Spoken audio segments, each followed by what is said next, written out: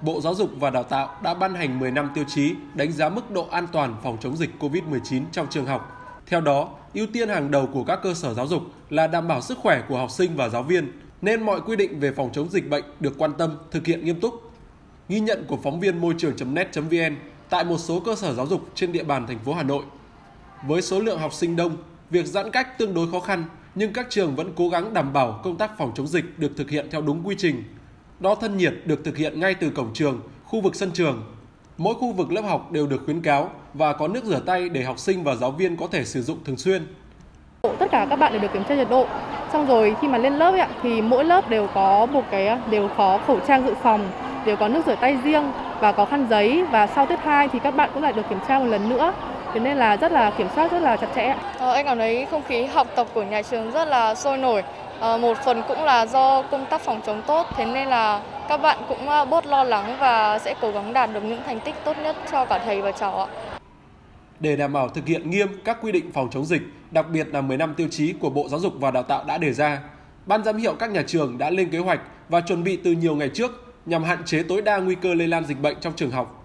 À, với cái quan điểm là sức khỏe của học sinh là cái điều quan trọng nhất,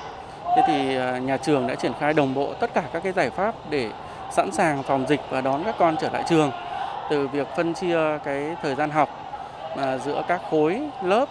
rồi à, chia tách lớp, hướng dẫn học sinh ngồi, tập huấn cho cán bộ giáo viên và hướng dẫn trực tuyến cho học sinh để đảm bảo khi học sinh đến trường là tất cả các công tác chuẩn bị đấy đã hoàn thành và à, với cái bộ cái cái tiêu 15 tiêu chí mà bộ đã đưa ra thì nhà trường đã tự giả soát đánh giá thì tất cả các cái tiêu chí đều là đạt rất cao 13 tiêu chí đối với cấp trung học cơ sở thì đều đạt được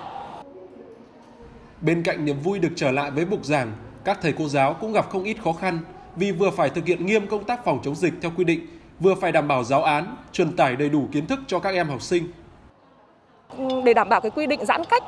của Bộ Y tế thì ban giám hiệu nhà trường chúng tôi sẽ là chia lớp thành hai. Như vậy mỗi lớp là chỉ có 20 đến 25 bạn trong một lớp thì đảm bảo được cái giãn cách tối thiểu. Thế nhưng mà cái việc đó thì dẫn tới cái công việc là công việc của số tiết của giáo viên cũng như là cái cường độ lao động của giáo viên phải tăng lên gấp đôi. Đấy. Chính vì cái việc đó thì nếu như mà cái việc này nó diễn ra trong một thời gian ngắn thì tôi nghĩ là giáo viên chúng tôi đảm bảo rất là tốt. Nhưng nếu như nó diễn ra thời thời gian dài thì tôi nghĩ rằng là nó cũng ảnh hưởng tới phần nào tới sức khỏe của giáo viên mà ảnh hưởng tới sức khỏe của giáo viên thì cũng ảnh hưởng tới chất lượng giảng dạy các cái giờ học ạ. Đi học trong điều kiện mới với không ít những xáo trộn, vì thế công tác chuẩn bị chu đáo của các nhà trường đã thực sự tiếp sức để thầy cô giáo và các em học sinh cùng yên tâm vượt khó vươn lên